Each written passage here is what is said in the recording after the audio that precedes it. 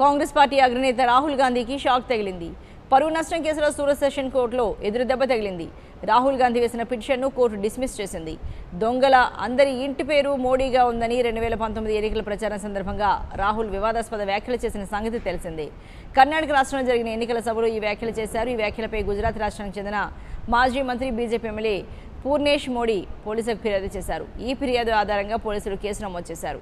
ఈ కేసుపై విచారణ చేపట్టిన సూరత్ కోర్టు ఈ ఏడాది మార్చి ఇరవై మూడున రాహుల్ గాంధీకి రెండేళ్ళ జైలు శిక్షణ విధిస్తూ తీర్పును వెల్లడించింది.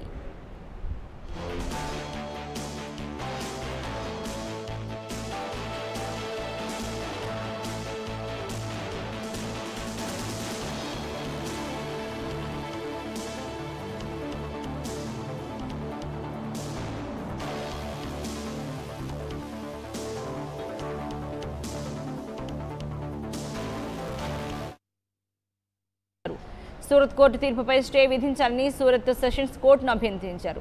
అయితే ఈ పిటిషన్ను సూరత్ సెషన్స్ కోర్టు డిస్మిస్ చేసింది. ఈ ఏడాది మార్చి ఇరవై మూడున సూరత్ కోర్టు ఇచ్చిన రెండేళ్ళ జైలు శిక్ష ఆధారంగా రాహుల్ గాంధీపై అనర్హత వేటుపడింది. కాగా సూరత్ సెషన్స్ కోర్టు తీర్పుపై హైకోర్టును రాహుల్ గాంధీ ఆశ్రయించే అవకాశం ఉన్నట్లుగా తెలుస్తోంది.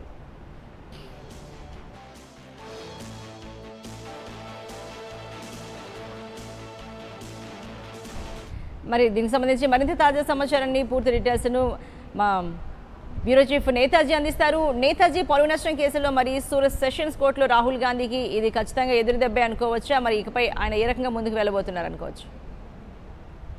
క్రిమినల్ పరువు నష్టం కేసులో శిక్ష పడిన కాంగ్రెస్ నేత రాహుల్ గాంధీకి గుజరాత్లోని సూరత్ సెషన్స్ కోర్టులో చుక్కె చుక్కెదురైందనే చెప్పాలి. ఎందుకంటే ఆ ట్రయల్ కోర్టు ఇచ్చిన తీర్పు పైన స్టే విధించాల్సిందిగా సెషన్స్ కోర్టుని ఆయన ఆశ్రయించారు. కాకపోతే సెషన్స్ కోర్టు కింది కోర్టు ఉత్తర్వులు ఏవైతే ఉన్నాయో ఆ దానికే అనుమతిస్తూ తన పిటిషన్ని కొట్టివేస్తూ నిర్ణయం తీసుకుంది. ఈ నేపథ్యంలో తదుపరి కార్యాచరణ ఏంటి అన్న దాని మీదే కాంగ్రెస్ సీనియర్ లీడర్స్ అంతా కూడా ప్రస్తుతం ఆలోచన చేస్తున్నారు.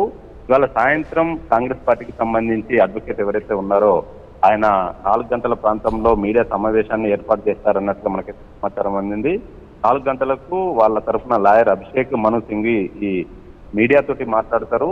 చట్ట ప్రకారం తమకు ఉన్న అన్ని అవకాశాలను సద్వినియోగం చేసుకుంటామని ఇప్పటికే ఆయన చెప్తున్నారు. అలానే కాంగ్రెస్ పార్టీకి సంబంధించి ఆ సీనియర్ లీడర్ ఎవరైతే జయరాం రమేష్ ఉన్నారో ఆయన కూడా ట్విట్టర్ వేదికగా స్పందించారు. సూరత్ సెషన్ కోర్టు తీర్పు తర్వాత కూడా ఖచ్చితంగా మేము హైకోర్టుకు వెళ్ళే అవకాశం ఉంది అన్నట్టుగా ఆయన చెప్పారు. దీన్ని బట్టి చూస్తే ట్రయల్ కోర్టు తీర్పు ఏదైతే ఉందో దాన్ని ఆ సవాల్ చేస్తూ సెషన్స్ కోర్టులో పిటిషన్ వేస్తే ఆ స్టే విధించాల్సిందిగా ఏదైతే ఇటు రాహుల్ గాంధీ కోరారో దాన్ని డిస్మిస్ చేస్తూ సెషన్స్ కోర్టు తీర్పునిచ్చింది కాబట్టి ప్రస్తుతం ఆయన గుజరాత్ హైకోర్టుని ఆశ్రయించాల్సి ఉంటుంది. మరి అక్కడ ఒకవేళ ఎలాంటి తీర్పు వస్తుందా అన్నది చూడాలి. ప్రస్తుతానికైతే తనకి విధించిన శిక్ష ఏదైతే ఉందో దాని మీదే స్టే కోరుతూ పిటిషన్ దాఖలు చేశారు. దాన్ని అయితే సూరత్ సెషన్స్ కోర్టు డిస్మిస్ చేసింది Archana.